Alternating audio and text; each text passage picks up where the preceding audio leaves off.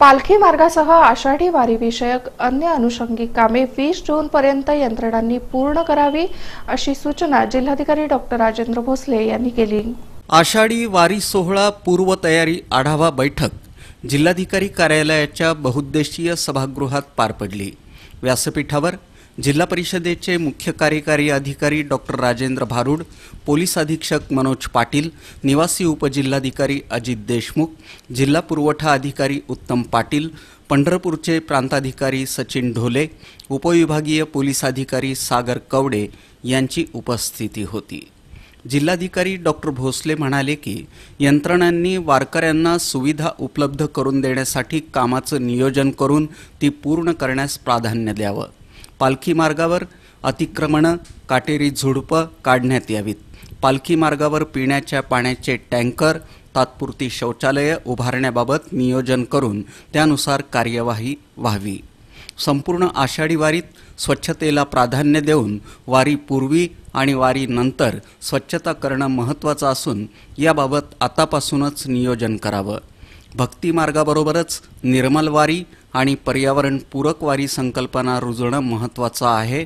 यावर्षी निर्मल वारीमध्ये पुणे विद्यापीठाकडील एन एस एसचे विद्यार्थी सहभागी होणार असल्याचंही त्यांनी स्पष्ट केलं. ग्रामपंचायतींना देण्यात येणाऱ्या निधीचा प्रस्ताव शासनाला सादर केला आहे. पुरेसे टँकर उपलब्ध केले असून आरोग्य पथकं ही तैनात केली असल्याचं मुख्य कार्यकारी अधिकारी डॉक्टर राजेंद्र भारूड यांनी सांगितलं.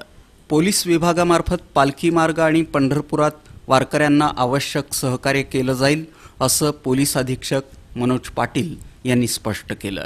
बैठकीला उपविभागीय अधिकारी शिवाजी जगताप क्षमा पवार ज्योती पाटील जिल्हा शल्य चिकित्सक डॉक्टर सुमेध अंदुरकर आपत्ती व्यवस्थापन अधिकारी विशाल बडे यांच्यासह संबंधित विभागाचे अधिकारी वारकरी प्रतिनिधी उपस्थित होते.